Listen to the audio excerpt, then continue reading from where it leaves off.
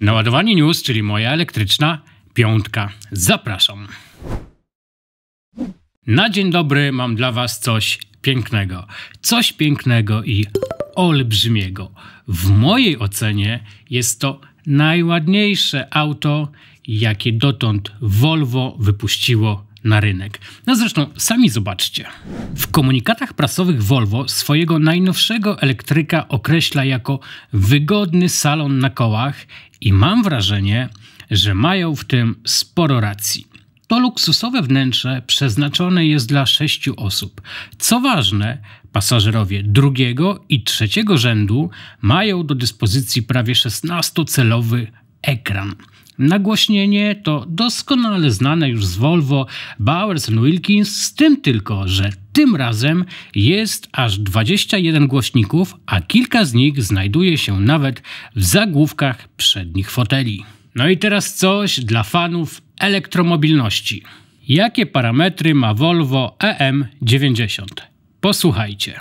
Bateria 116 kWh, moc 272 konie mechaniczne, przyspieszenie do setki 8,3 sekundy. Chociaż w przypadku tak wielkiego auta nie wiem, czy to ma aż tak duże znaczenie. Znaczenie za to ma zasięg. I teraz uwaga. Producent podaje, skupcie się, 738 km zasięgu. No przecież tym można jeździć, jeździć i jeszcze raz jeździć. Czy to w ogóle oznacza, że na rynek wracają minivany? W mojej ocenie tak. Ba. W Chinach już wróciły, dlatego to auto w pierwszej kolejności będzie dostępne tylko i wyłącznie na rynku chińskim. A szkoda. No niestety Europa, ba, Ameryka musi na niego trochę poczekać, a co dopiero Europa i co dopiero Polska. W każdym razie my w Polsce możemy też cieszyć się elektrycznym minivanem. Mam na myśli Maxusa Mifę 9, która z zewnątrz też naprawdę robi duże wrażenie. Co prawda, nie jest to Volvo, ale w myśl przysłowia, jak się nie ma, co się lubi, to się lubi, co się ma. Ja wam powiem, że Mifą jeździłem, było fantastycznie. Volvo też jeździłbym. Samochody kradną i pewnie będą kradli. Elektryki niestety też.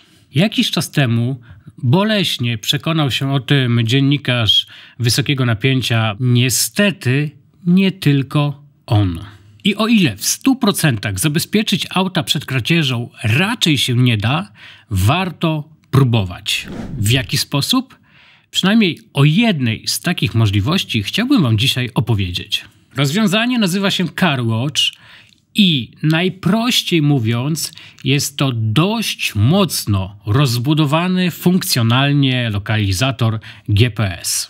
A co to znaczy dość mocno rozbudowany? Dzięki temu, że urządzenie wpinane jest w magistralę CAN v istnieje możliwość powiadamiania nie tylko o samej zmianie położenia, ale także o próbie uruchomienia auta. A jak wiadomo, w przypadku kradzieży jednym z najbardziej istotnych elementów czy czynników wpływających na to, że to auto może zostać odnalezione, jest czas reakcji.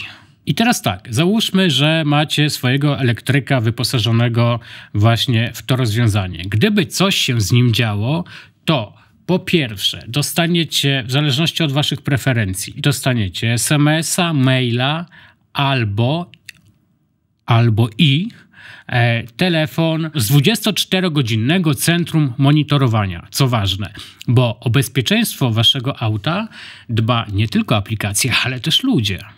No i na koniec cena, no bo przecież za darmo nie jest. Instalacja plus urządzenie to jednorazowy koszt 615 zł.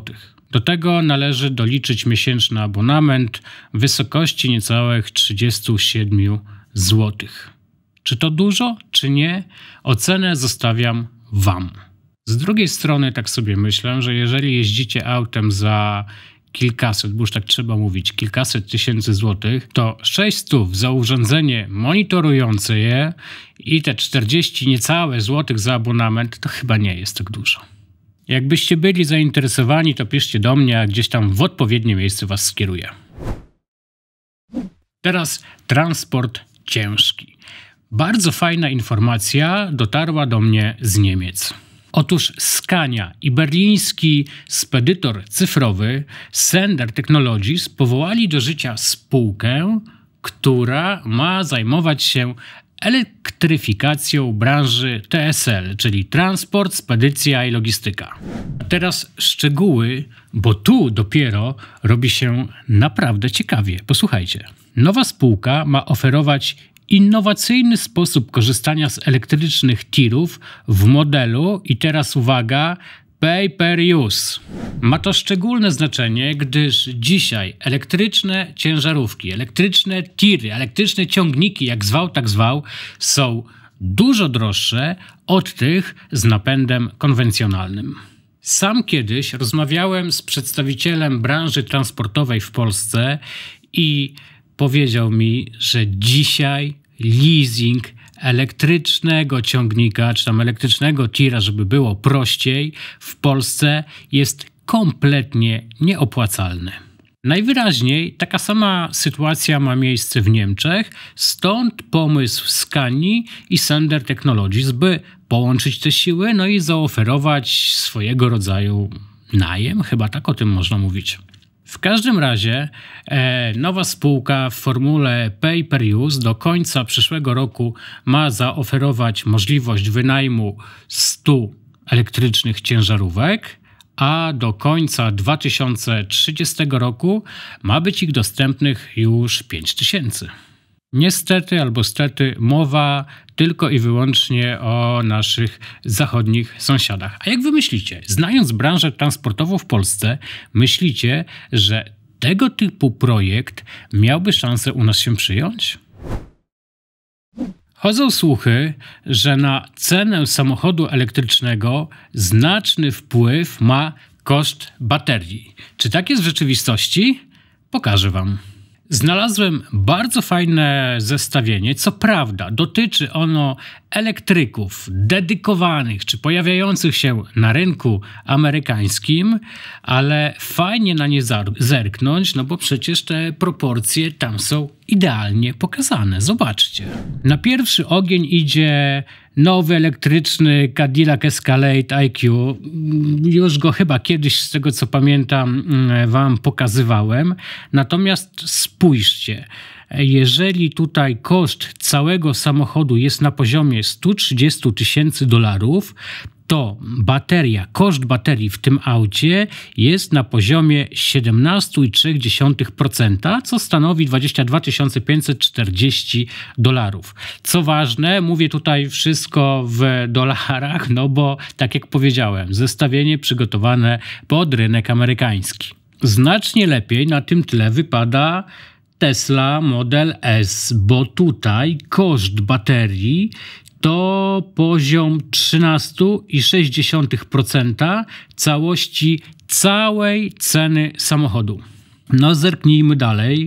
Uuu, w ramie wygląda to znacznie gorzej, bo w ramie bateria to jest prawie 32%. E, koszt baterii to jest prawie 32% ceny ogółu auta. No to rzeczywiście tutaj trochę więcej. Spójrzmy na Riviany, które jeżdżą dla Amazona. Niestety w Polsce ich nie uświadczymy, na czym strasznie ubolewam, dlatego że w mojej ocenie jest to bardzo fajne, bardzo ładne auto.